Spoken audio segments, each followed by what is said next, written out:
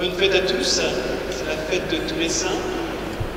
Nous sommes en communion avec tous ceux qui sont au ciel, tous ceux qui sont euh, en communion plénière avec le Seigneur dans son paradis. Dans chaque Eucharistie, nous vivons cette communion avec les saints du ciel. Au début de cette Eucharistie, reconnaissons que nous sommes pécheurs, demandons pardon pour toutes les fois où notre vie peut être une vie sainte je confesse à Dieu Tout-Puissant.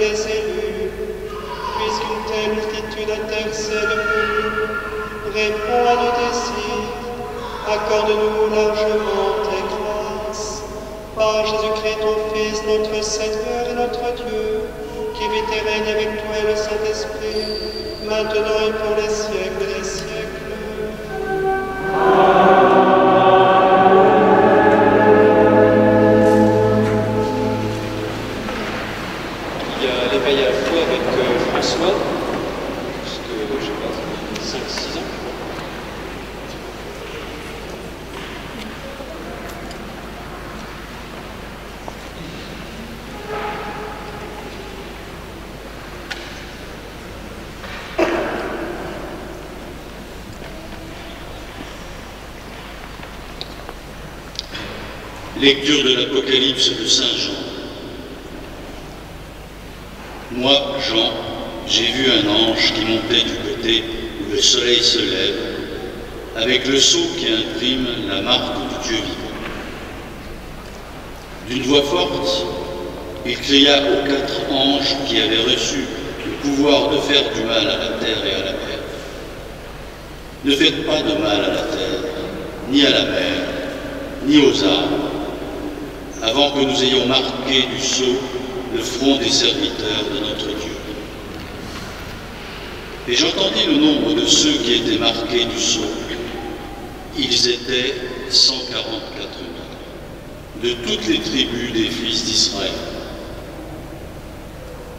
Après cela, j'ai vu, et voici une foule immense que nul ne pouvait dénombrer, une foule de toutes nations, tribus, peuples et langues, et quiconque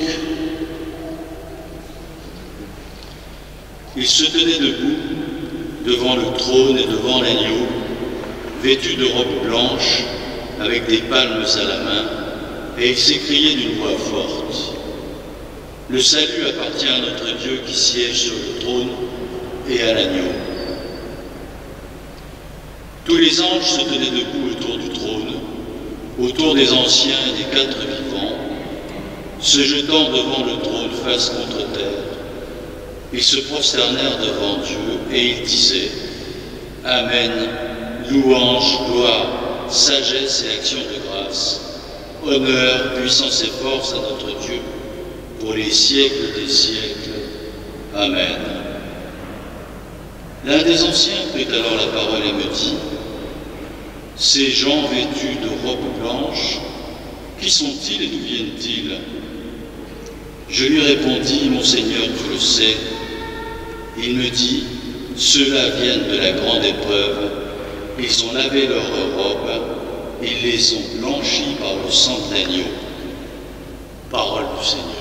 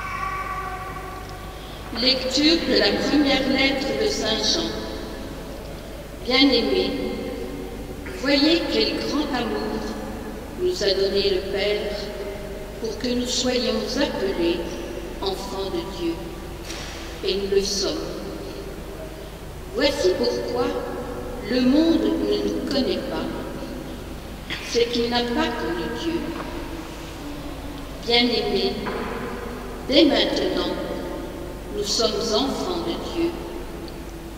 Mais ce que nous serons n'a pas encore été manifesté. Nous le savons, quand cela sera manifesté, nous lui serons semblables, car nous le verrons tel qu'il est. Et quiconque met en lui une telle espérance se rend pur comme lui-même est pur. Parole du Seigneur.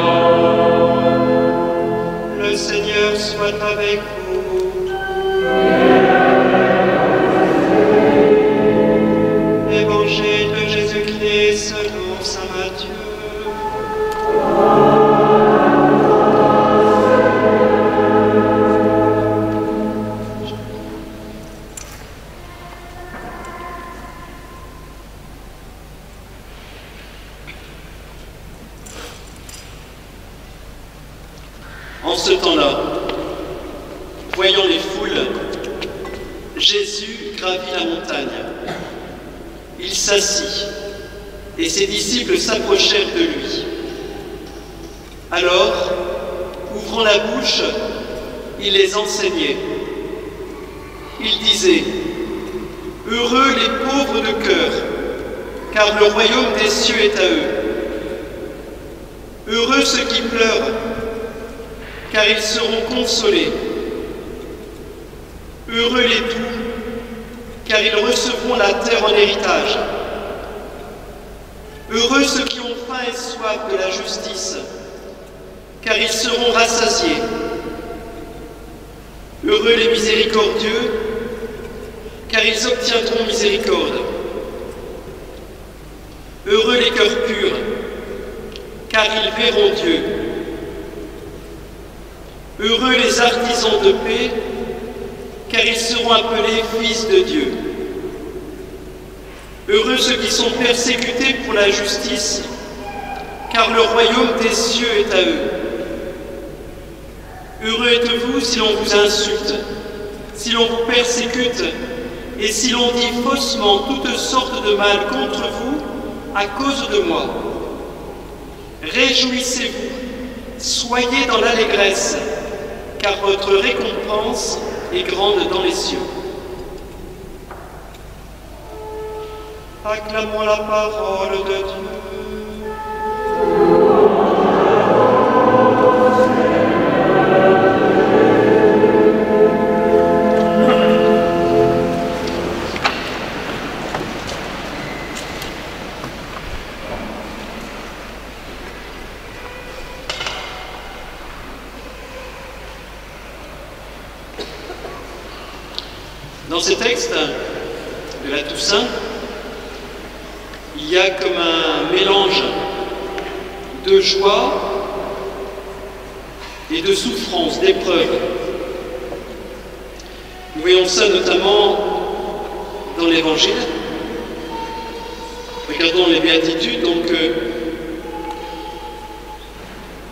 Les béatitudes commencent par heureux, donc il y a la joie. Après, il y a l'épreuve. Et enfin, à la fin, il y a la joie. Par exemple, heureux les pauvres de cœur, car le royaume des cieux est à eux. Heureux, c'est la joie.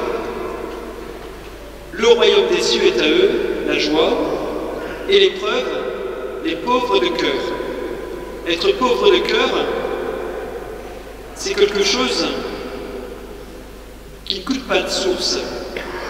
Être pauvre de cœur. Le pauvre de cœur, c'est celui qui se dit Je ne peux pas tout faire avec mes propres forces, j'ai besoin des autres. Un pauvre, c'est celui qui a besoin de quelqu'un d'autre.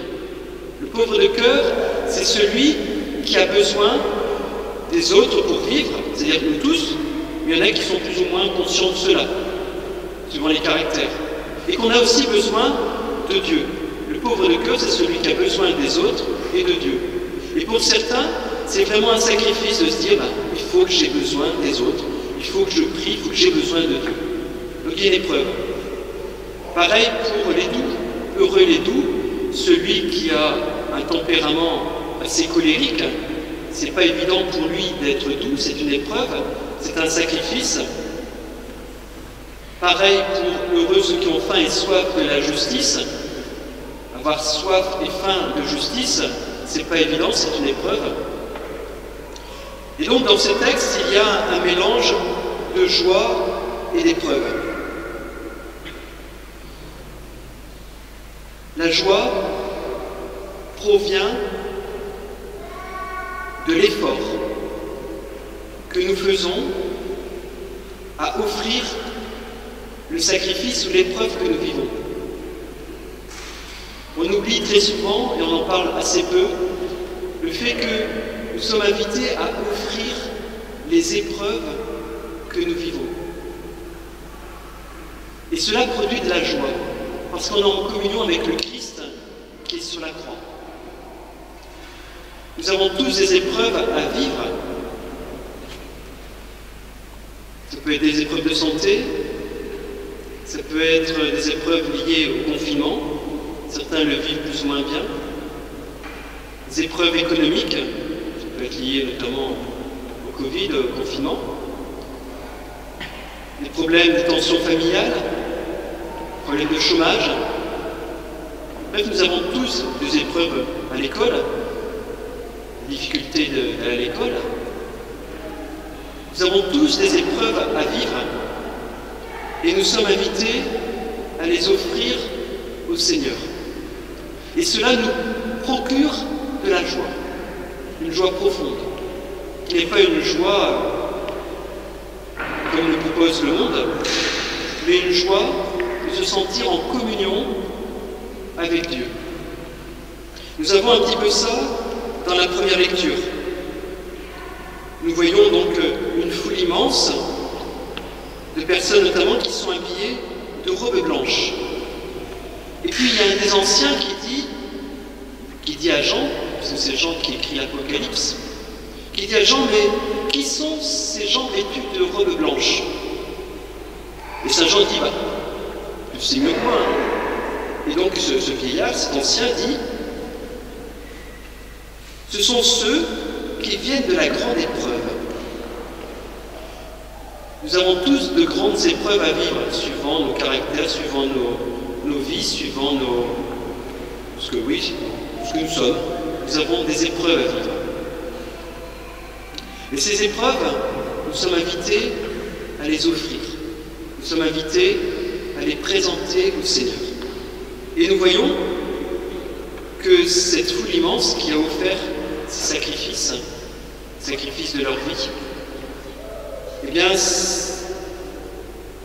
ces gens, cette foule immense, est en robe blanche, comme vous, les enfants de cœur, servants d'assemblée, qui rappellent le vêtement du baptême, mais qui rappellent également que nous sommes faits pour le ciel, pour la joie du ciel. Ce vêtement, c'est aussi le vêtement de la joie que nous aurons au ciel, le vêtement de la joie du ciel. Nous sommes invités donc à vivre toutes nos épreuves avec le Seigneur. Aujourd'hui, nous fêtons la fête de tous les saints.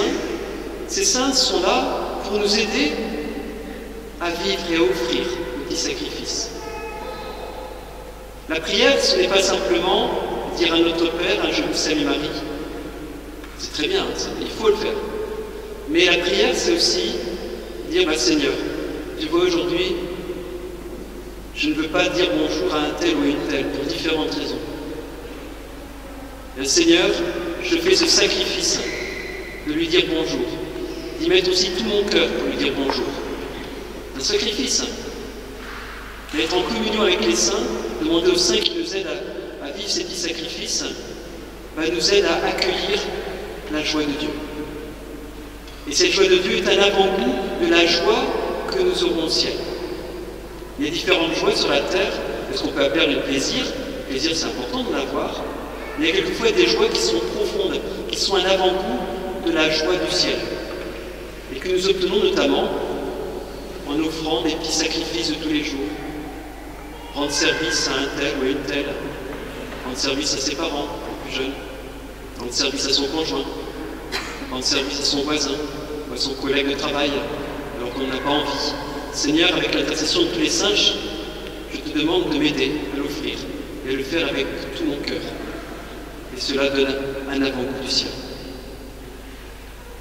Que le Seigneur nous aide à vivre ce que nous avons à vivre, toutes les épreuves que nous avons à vivre en ce moment, à les vivre dans la joie et dans la paix de Dieu, en offrant toutes ces épreuves, avec euh, l'intercession et avec l'aide de tous les saints et les saintes du ciel.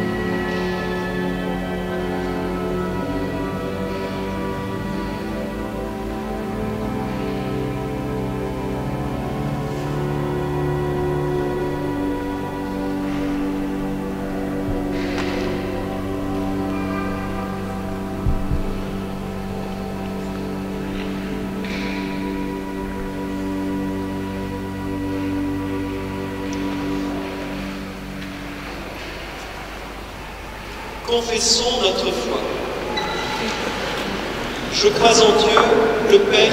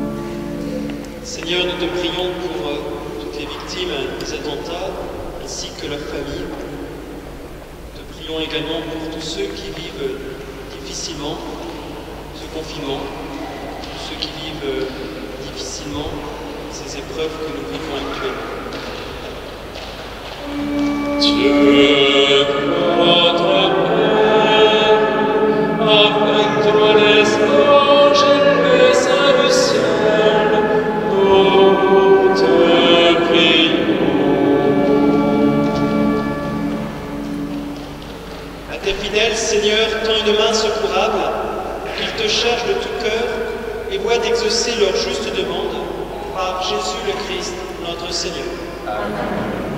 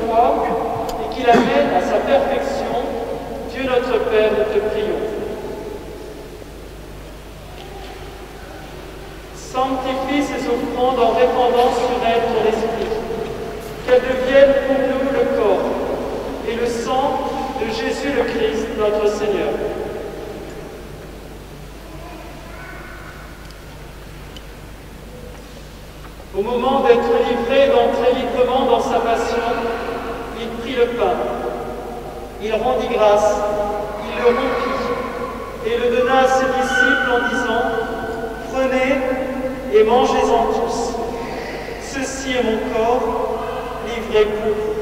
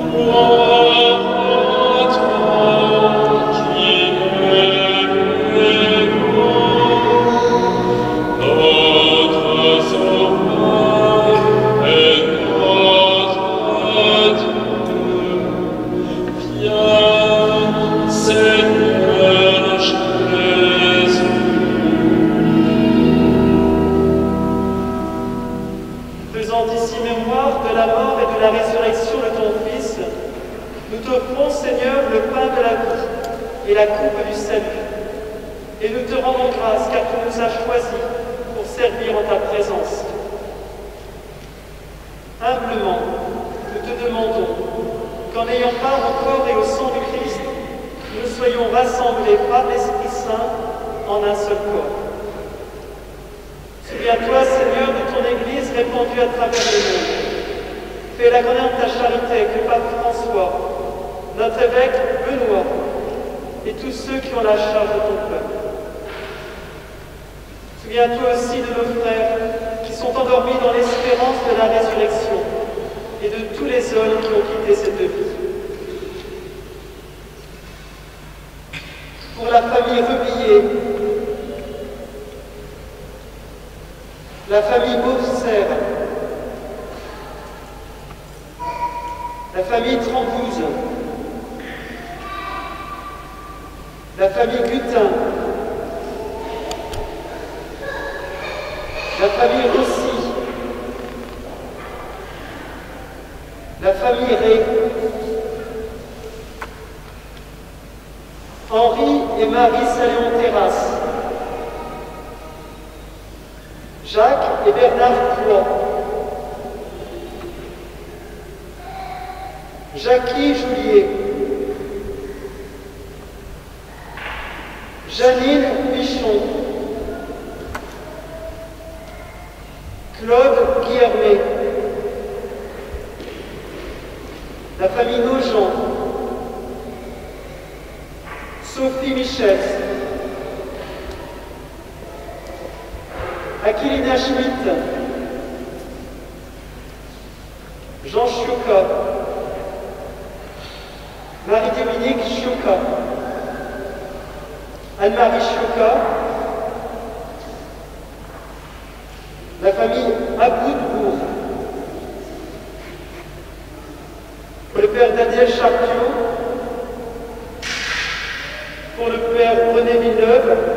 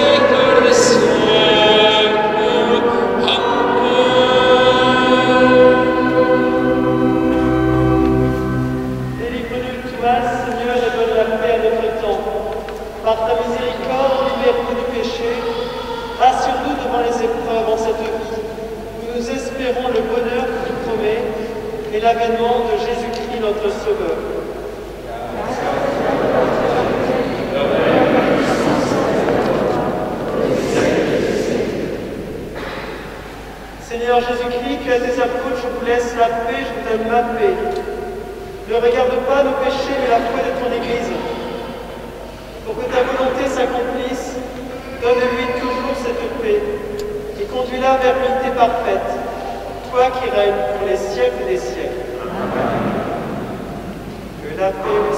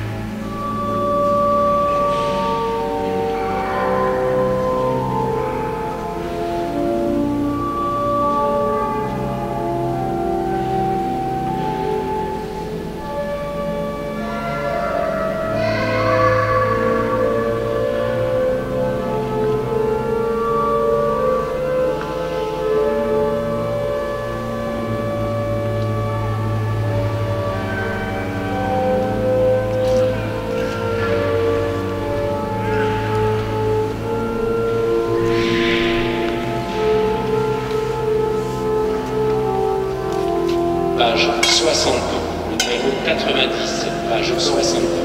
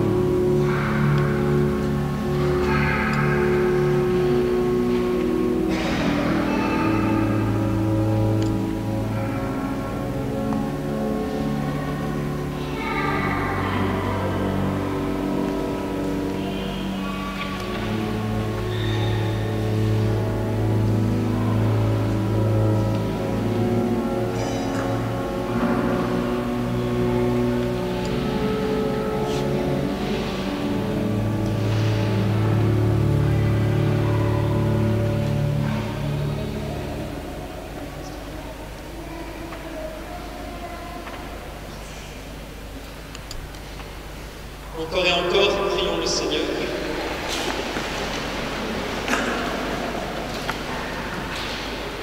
Dieu qui seul est saint, toi que nous admirons et adorons, en célébrant la fête de tous les saints, nous implorons ta grâce.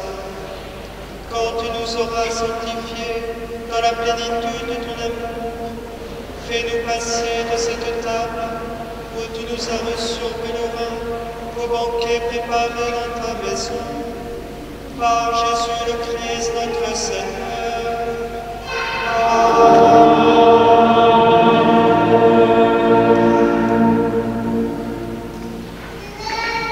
Demain, c'est la journée de prière pour les âmes du purgatoire. Donc les messes sont maintenues. Donc il y a une messe à 10h30 à Saint-Côme, midi et quart ici, à la cathédrale, et 18h30 euh, à Saint-Pierre. Mercredi, euh, mardi, on ne sait pas euh, ce qu'il en sera. En tout cas, pour l'instant, on n'a plus le droit de célébrer une messe à partir de, mardi, des messes publiques. C'est-à-dire que nous, on va continuer à célébrer la messe. Donc les messes seront retransmises. Donc n'hésitez pas, ceux qui n'auraient pas reçu de mail de notre part dans ces dernières semaines, ça veut dire qu'on n'a pas votre adresse mail, n'hésitez pas à nous la donner en nous envoyant un mail simplement à l'adresse du secrétariat. Et nous, nous, nous enverrons un, un lien qui vous permettra de regarder la messe si vous le désirez euh, en direct. Voilà. Donc il y aura certainement la messe tous les jours en direct, euh, et le dimanche aussi bien sûr. Aura peut-être aussi euh, des lots ou chapelets, on ne sait pas encore. Euh, autre chose, n'oubliez pas que le 4 novembre, c'est la Saint-Charles Borromée. Donc euh, Charles Borromée a protégé Chalon de la peste, et donc n'hésitons pas à le prier. Donc vous avez dans le fond de l'église des prières à Saint-Charles Borromée, n'hésitez pas à le prier. N'oubliez pas aussi que c'est l'anniversaire de l'adoration euh, du Saint-Sacrement, de la chapelle de l'adoration. Je ne sais plus, ça fait 15, 16, plus, 17 ans, je ne sais plus exactement. En tout cas, la chapelle et les églises sont ouvertes. N'hésitez pas à, passer dans cette chapelle du Saint-Sacrement. Quand vous faites votre tour d'une heure, comme il est prévu, n'hésitez pas à faire un petit tour dans la chapelle du Saint-Sacrement, dans les églises, ça c'est important. N'hésitez pas aussi, si vous avez besoin de la visite d'un prêtre, on peut aller visiter euh, les personnes seules, les personnes qui sont entre guillemets angoissées ou je ne sais pas trop quoi. N'hésitez pas donc à... Nous, on peut aller visiter. C'est notre ministère.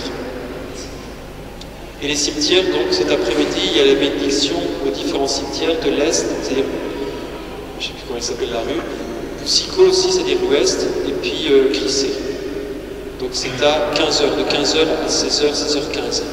Donc n'hésitez pas à, venir aux différents cimetières pour euh, avoir la bénédiction des différentes tombes. Le Seigneur soit avec vous.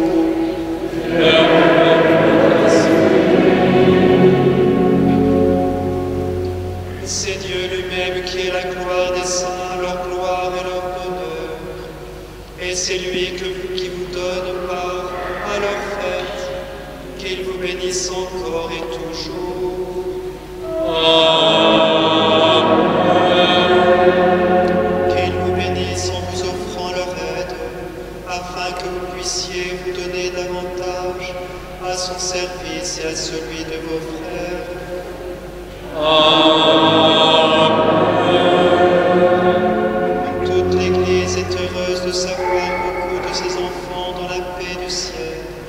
C'est là que Dieu vous attend.